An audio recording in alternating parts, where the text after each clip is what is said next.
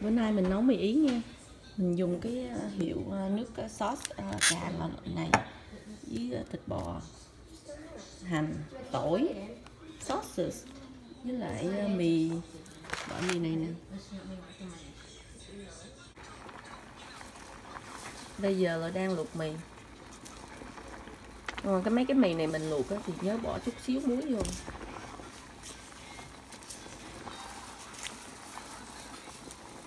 Hồi nãy luộc có nửa bịch thôi, nhưng mà sợ với đứa con mình ăn không có đủ, cho nên mình luộc thêm nửa bịch nữa. Này, luộc cái này cũng mau. 10 15 phút thì xong rồi.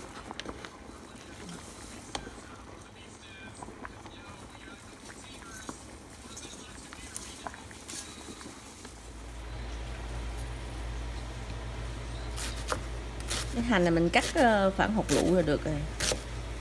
Mình để cái xào cái thịt nó cho nó chín rồi xong mình mình bỏ này vô mình xào chung luôn. Mì này sắp xong rồi nè.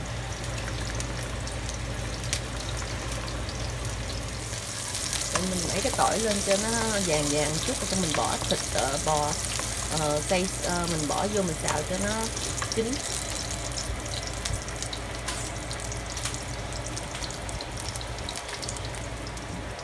Thì mình thấy cái tỏi nó sắp già cái mình bỏ thịt bò vô.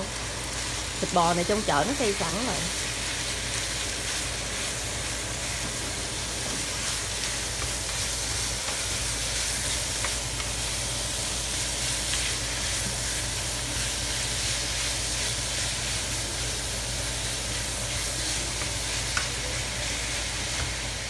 mình làm ờ, mình pha cái kiểu Việt Nam một chút nha. Bỏ chút xíu bột ngọt vô.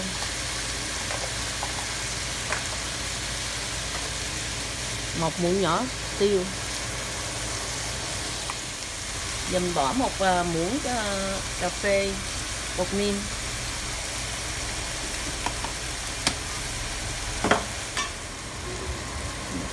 Nghe bây giờ mình bỏ hai muỗng canh nước mắm. Gia đình mình rất là thích ăn nước mắm. Bây giờ cái thịt nó ờ, sắp chín rồi nè. Bây giờ mình bỏ hành này vô. Bây giờ mình thấy cái hành này giờ nó cũng sắp chín rồi ha. Thì mình bỏ cái sót thịt này vô.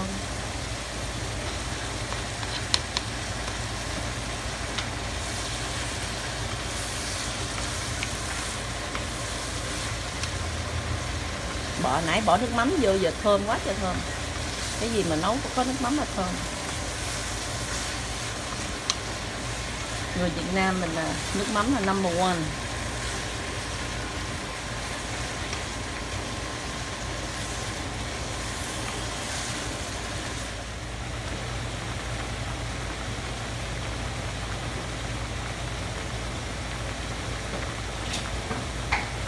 Cái hành với cái ờ, uh, sốt thì nó cũng sắp chín rồi. Rồi mình bỏ cà vô.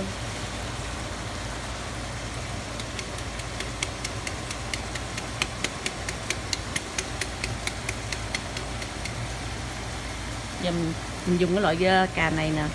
Nhưng mà bên Mỹ này có nhiều ờ, loại trong chợ lắm. Nhưng mà mình chưa thấy cái nào mà lấy đại thôi chứ mình cũng không cũng không có thích cái loại nào. Hay là mình ủ cái thích loại đó là đó không chỉ lấy đại cái nào vậy thôi.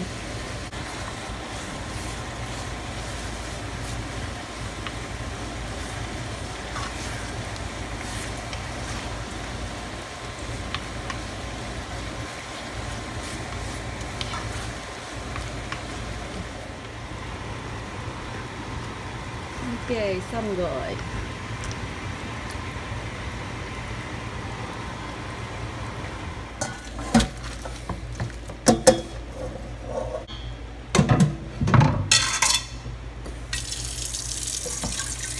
Thank